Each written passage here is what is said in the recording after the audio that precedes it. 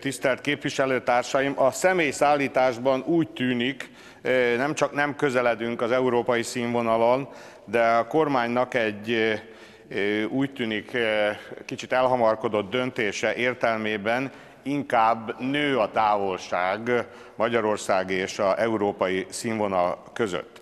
Március 17-én jelent meg a magyar közlönyben egy olyan kormányrendelet, amely többek között felfüggeszti egy EU rendeletben foglalt és ott garantált utasjogoknak a körét.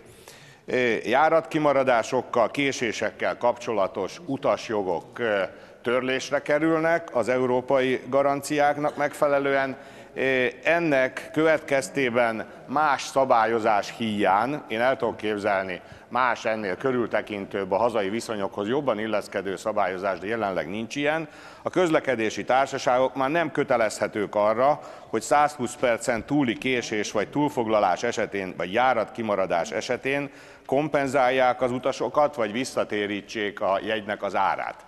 Tehát erre ma semmiféle kötelezettsége nincs a cégeknek, sem új járatra való átfoglalás, sem menetjegy visszatérés a jövőben nem illeti meg az órákig feleslegesen várakozókat, vagy azokat, akiknek meghiúsult az utazása. Nyugtasson meg államtitkár úgy, hogy ez nem marad így. Tehát szabályozni fogják mint azoknak a lehetőségét, akik akadálymentesített tájékoztatást vennének igénybe, hogy mely járatokon tudnak akadálymentesen közlekedni, illetve hogy nem maradhat Magyarországon senki jegy visszatérítés nélkül, kártérítés nélkül, aki önhibáján kívül nem szállít el a volán, nem tud közlekedni.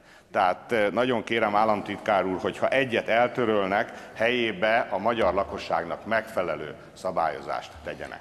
Köszönöm. Köszönöm szépen, képviselő úr. Tisztelt Országgyűlés, megadom a szót Fónagy János államtitkár úrnak. Parancsoljon államtitkár úr. Köszönöm, elnök úr, tisztelt Országgyűlés, tisztelt képviselő úr. A vasút és autóbuszos helyközi közösségi közlekedésbe, de hozzáteszem a helyibe is, komoly fejlődés ment végbe az elmúlt években. A vasúti pályák korszerűsítése mellett új járműveket szereztünk be, közösségi, közösségi közlekedés színvonalát, az elővárosi rendszerek ütemes menetrendjével, a, a, a helyi közlekedésbe pedig a járatok sűrűsítésével javítottuk és növeltük. Csak hogy a, a tisztelt képviselőtársaim a teljesítmény mértékével tisztában legyen, csak Budapesten másfél milliárd utas szállított el a BKV, és a megállóhelyek száma 4663 darab. Tehát Magyarországon mind a hálózat sűrűség, mind, a, mind a, az ellátás az európai színvonalú.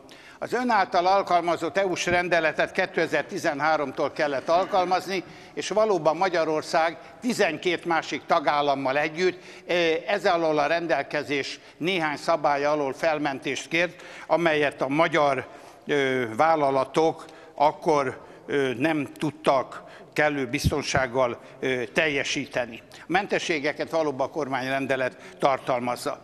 A mentességek négy évre voltak adhatóak, így azok 17-ben lejártak. A kormány megvizsgált, hogy a mentességek közül melyek azok, amelyeket a hazai autóbuszos vállalatok teljesíteni tudnak.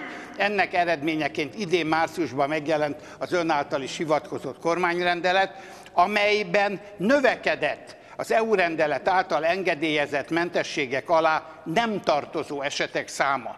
Az utasok jogai tehát a képviselő úr állításával ellentétben nem megmaradtak, hanem újabbakkal bővültek. Ezzel együtt nyilvánvaló, hogy a kormány számára is közlekedésben az elsődleges az utas, ezért ahol lehetséges, kezdemi évenként felülvizsgáljuk és megszüntetjük mindazokat a felmentésre okot adó jogokat, amelyeket képviselő úr is joggal kifogásolt.